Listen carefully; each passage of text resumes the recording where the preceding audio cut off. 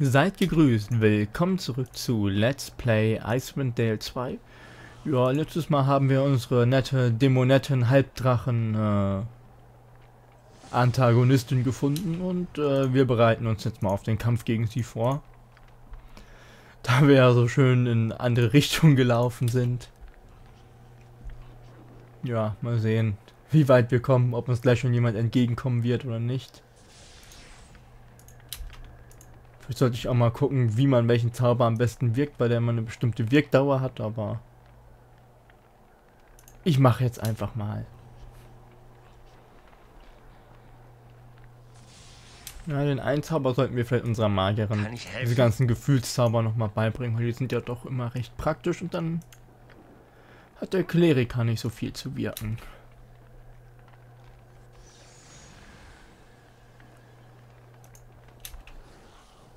Da müssen wir nochmal sehen irgendwann. Hm, nehmen wir die nochmal. Wer weiß, ob sie böse sind. Wäre ja mal wünschenswert. Naja, Schutz gegen Böses bringt ja immer einen Bonus. Von daher. Und jetzt noch den Domänenzauber hier. So, dann können wir uns doch mal in die Schlacht stürzen. Mal sehen, wie lange wir durchhalten, bis die ersten äh, in Panik davonlaufen. Aha. Also, da haben wir Madame, da haben wir einen Barbaren Schaman. Ach, du hast dich da oben platziert. Was ist das? Tempel, irgendwas. Die zaubert auf jeden Fall irgendwas. Ist ja langweilig. So, da sind noch mehr. Wirkt Segen. Wieso segnet ihr euch? Das finde ich nicht gut. Warum dürft ihr das? Ich könnte natürlich auch die ja? Halbdrachen-Lady jetzt mit einbezaubern, was ich hier bei mir habe. Gefühlt Zorn, Hexenmeister. Hätte ich gleich mal anwenden können, aber nein, vergesse ich natürlich. Äh, hier, guck mal. Drachen mögen magische Geschosse schließlich auch.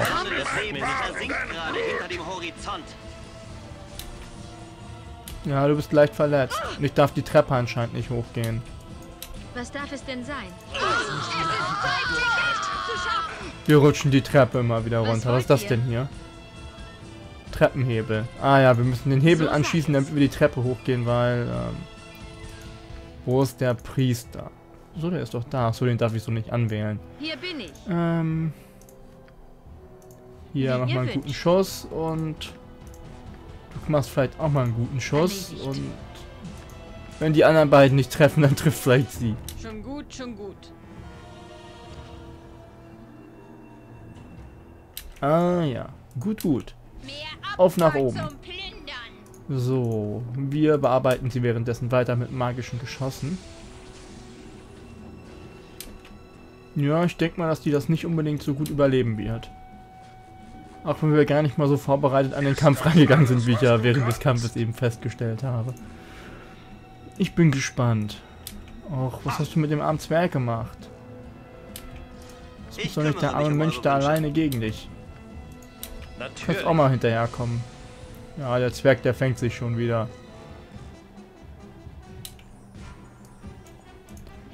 So, weiter magische Geschosse auf sie schießen. Mhm. Nimm immer schön zwei Schaden, immerhin. Oh, warum lässt die den Mensch da stehen? Fast tot. So, hier, da. Bring sie um. Fedora, mach was Tolles. Sowas wird die ja wohl kaum überleben. So, nimm du mal das Ding dann, wenn du schon im Nahkampf kämpfst. Meine Lebenssonne geht unter. Tja, ihre auch. War ja gar nicht mal so schwer. Aha. Wenn dann mal alle zurückkommen würden, dann wäre ich schon mal sehr glücklich. Hm, ihr war da unten irgendwo. Ja, das war doch schon mal gar nicht so schlecht. Und da gibt es noch einen Seitenausgang. Du hattest noch Platz im Inventar. Dann plünderst du jetzt mal anständig, so wie sich das gehört. Nachgetane Arbeit, ja. Wir wissen ja, dass wir dann immer plündern wie nichts Gutes. Ich kümmere mich drum. Wir müssen aber echt mal einem anständigen Händler ankommen oder ich muss mal... Boah, ein Inventar kann doch nicht... Boah. Er hat noch. So, Aurelius, tu was Gutes. Sammel unser Zeug ein.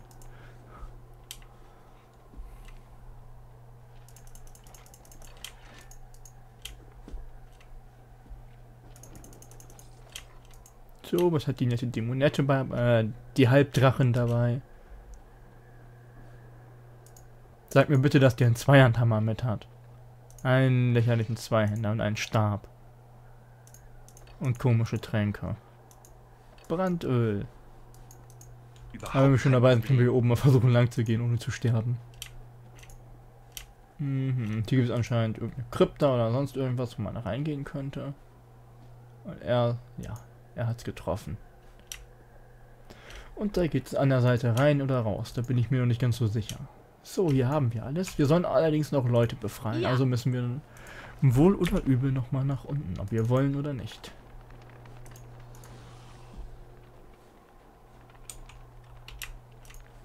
Ich schätze mal, da muss ja jetzt noch was gehen, eben kurz.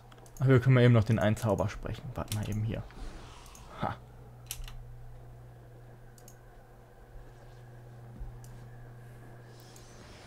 So sei es. Schön.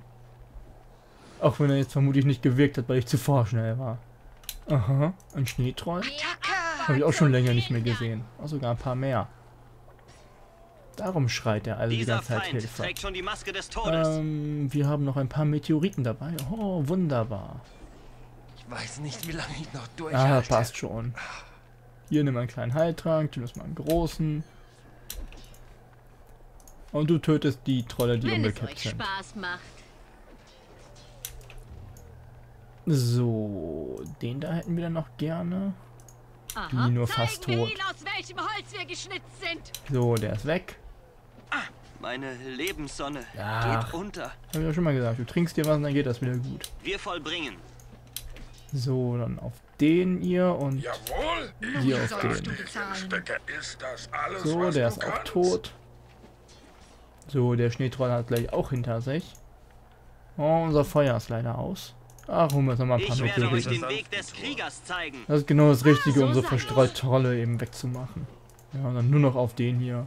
So, weg ist er. Wie ihr wünscht. So, da hätten wir dann noch den einen Behälter. Da brauchen wir irgendwie mal ein bisschen Leben, der da ran kann. Also nimmst du den mal, weil du dein Inventar noch nicht ganz dicht geschwurbelt hast. Und dann nehmen wir das da mal noch raus. Ich höre, so sei es. So, ähm. Was zur Hölle? Und der Remmernhardt schreit Hilfe? Ist ja widerwärtig. Ich frage mich, ob der Kerl von dem Vieh gefressen wurde. Töten wir den mal und gucken wir mal, ob da jemand... Wenn es euch Spaß Ja, der, der Remmernhardt hat anscheinend wirklich jemanden äh, im Bauch gehabt. Zack Busenbury.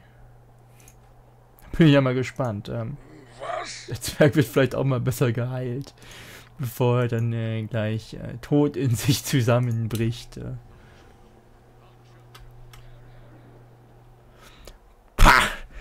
Also ich sag dir, äh, ich war so gut wie geliefert.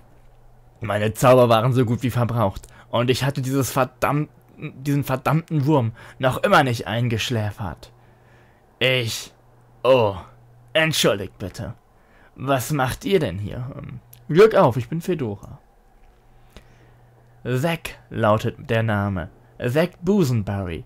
Kleriker und Illus- Illusionist im Dienste Baevans Wildwanderers. So entschuldigt mich einen Augenblick. Och, och, ugh, vermutlich, ja, er übergibt sich. Ähm, wenn ihr Zack seid, dann muss das eure Botschaft sein. War mir ja nicht so sicher, wo ich da reingeraten, reingetreten hab. Aber es hat wohl gereicht, dass der Wurm ein- oder zweimal gerülpst hat. Genug, um diese Botschaft nach draußen zu befördern. Ähm, habt ihr irgendwo eine Spinne gesehen? Ähm, Spinne? Aocha, mein Reittier. Sie ging verloren, als mich der Wurm angegriffen hat. Sie ist eine Riesenspinne, aber ganz zahm und wohl trainiert. Sanft wie, einem, wie ein Mäuschen. Hm, Wir haben sie gefunden.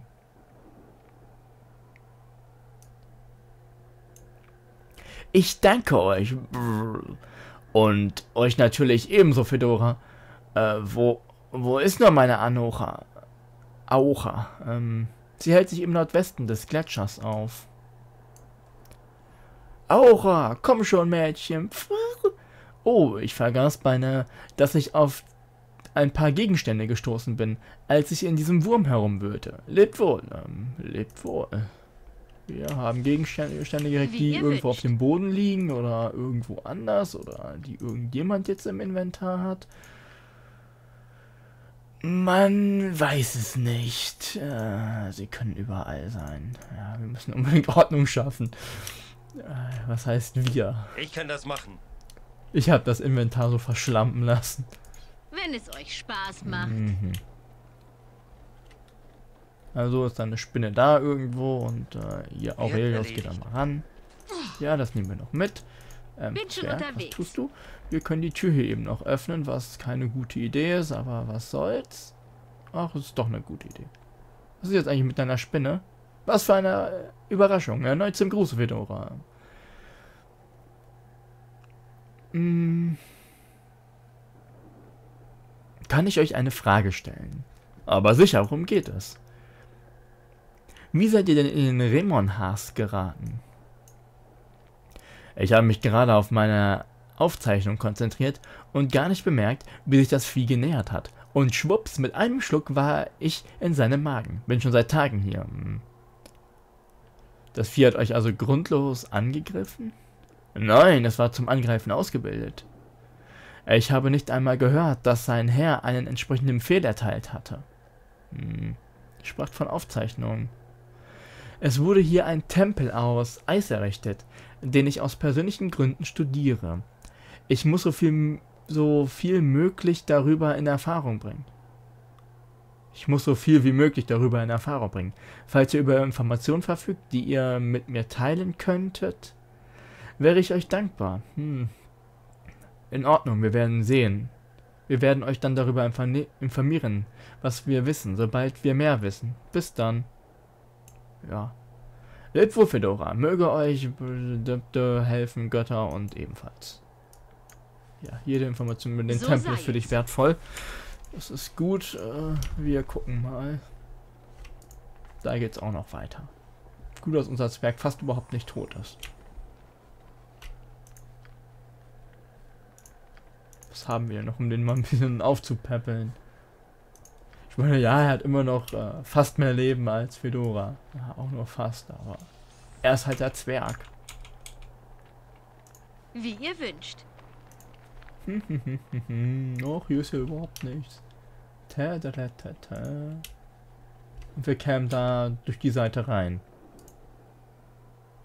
Die Tür wurde absichtlich so angefertigt, dass nur eine Person mit enormer... Die Tür wurde absichtlich so angefertigt, dass nur eine Person mit enormer Stärke sie öffnen kann. Und sie bewegt sich kein Stück. Allerdings ist ein Loch durch einen Teil der Tür geschlagen worden, in das sich eine kleine Person hineinzwängen könnte. Unser Zwerg ist doch wohl hier mächtig, also, oder? In? Ordnung. Mhm. Der Zwerg war klein sowie kräftig, wie es scheint. Wenn es euch Spaß Wo macht. kommen wir hin? Ich will nur mal gucken. Ich will eigentlich durch den Haupteingang gehen, wenn möglich. Tolle Scheiße. Und das Abishai? Schluss mit der Gewalt. Ich flehe euch an. Wir sind nicht wir selbst. Wir können dem Zwang, Blut zu vergießen, nicht widerstehen. Erklärt es mir. Es befindet sich hier eine Präsenz, die noch mächtiger als Auriel ist. Sie verwirrt unseren Geist, so dass der Geruch von Blut uns in Berserkerrausch versetzt. Es wäre klug von euch, euch zu heilen und dann von hier zu verschwinden. Erzählt mir von der Präsenz. Ich weiß nur, dass da eine Stimme in unserem Gedanken ist. Sie ist nah, gleichzeitig fern und trägt einen unverständlichen Namen. Aeij. Klinzrt oder so. Ich bin älter und erfahrener als die anderen, deswegen kann ich wohl dem Drang widerstehen. Hm, Warum sollen wir euch helfen? Dem Drang? Unser Kampfrausch wird vom Blutgeruch entfesselt. Wenn eine Kreatur offene Wunden hat, je weniger Blut wir riechen, desto besser haben wir uns im Griff. Warum seid ihr hier? Diese Schlampe Shenin Kal hat uns hierher gelockt. Sie hat behauptet, wir würden zu Mitgliedern in so einer Legion werden, doch alles, was wir hier fanden, war die Stimme in unserem Kopf und der Blutdurst in unseren Kehlen. Wir sind in dieser Lager Lagerstätte gefangen und dazu gezwungen, an Lysaras Ritual teilzunehmen. Mhm. Ihr seid hier gefangen? Die Türen öffnen sich nur, wenn Lyr Lysara ihr Ritual vollführt. Der Verschlussmechanismus ist mit dem Opferpodest verbunden, das sie benutzt. Ich weiß nicht, wie es funktioniert. Vielleicht sind da noch weitere Tricks. Das Ritual? Mhm. Uns heilen, können wir auch noch mal fragen. Unser Kampfrausch wird vom Blutgeruch entfesselt. Wenn eine Kreatur, Kreatur offene Wunden hat, je weniger Blut wir riechen, desto besser haben wir uns im Griff. Ähm, alles gut. Wir verstehen, lebt wohl. Ähm, ich will So sei äh, hier raus. Wie komme ich hier raus? Wenn die mir nicht hinterherkommen, ist alles in Ordnung. Dann kann ich mich auch heilen. Ähm, ja, dann speichere ich, dann Wenn ruhe ich mich wollt. aus und dann kann ich da wieder reingehen, oder wie sieht das Ja. aus?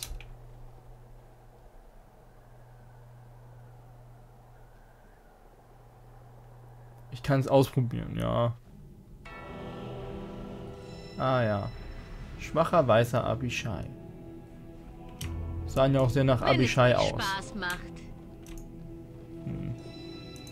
Die Türen werden sich nicht öffnen. Diese verschlossene Tür hat keinen Sicht ist kein sichtbares Schlüsselloch. Loch, Loss, ey. Meine Zunge ist heute die ganze Zeit nur im Weg. L Norden, R Norden ist in die Oberfläche gemeißelt worden. Bei der auch? Die verschlossene Tür hat kein sichtbares Schlüsselloch. L Norden, R Norden, in der Oberfläche gemeißelt worden. Bei nahem Hinsehen entdeckt ihr Drähte, die unter dem Eis entlang von der Tür zu dem Podest führen. Mhm. Also dasselbe. Keine Ahnung. Links Norden, rechts Norden oder was soll das bedeuten? Wie ihr wünscht. Ich weiß es nicht. Wir gehen mal durch den Haupteingang rein. Vielleicht finden wir da ja was raus. Kann ich mir jetzt gerade noch keinen Reim drauf machen. Hat der jetzt eigentlich dauerhaft irgendeine Fähigkeit, weil er so hochgelevelt ist? Schutz vor Kälte. Weiß ich nicht. Müsste ich mal in sein Profil gucken. Er ist jetzt Stufe 7. Äh, Informationen. Klasse. Mönch. Hm, betäubender Angriff. Entrinnen. Ah, ist jetzt egal. Habe ich keine Lust mit euch durchzugucken. Kann ich mir allein mal angucken. Oder er hat irgendwelche Ausrüstung an, die ihn vor Kälte schützt. Wobei wir mit der Ausrüstung allgemein mal ein bisschen, wie gesagt, ich muss Inventare sortieren. Ich denke mal, auch wenn ich jetzt nur vier oder fünf Folgen habe, werde ich auch für die Woche aufhören. Aha, da liegt jemand Totes. Botschaft von... Ach so, ähm... Ja, warte mal. Wie Wir gehen wünscht. wieder raus. Alles klar, ich hab's verstanden. Speichern heben. Auch wenn das nicht so lang sein sollte, werde ich dann hier aufhören. Wir, ja, es ist... Äh, ja, ich habe ja zum Glück nur die ganze Arbeit. Ich bin mal gespannt, was dabei rumkommen wird. Es kann nicht viel sein. Denke ich mal. Ich denke mal, dass das meiste mal wieder äußerst nutzlos sein wird. Aber das werden wir dann ja sehen. Im Prinzip haben wir auch noch keinerlei Ausrüstung großartig an, von daher kann es ja nur besser werden.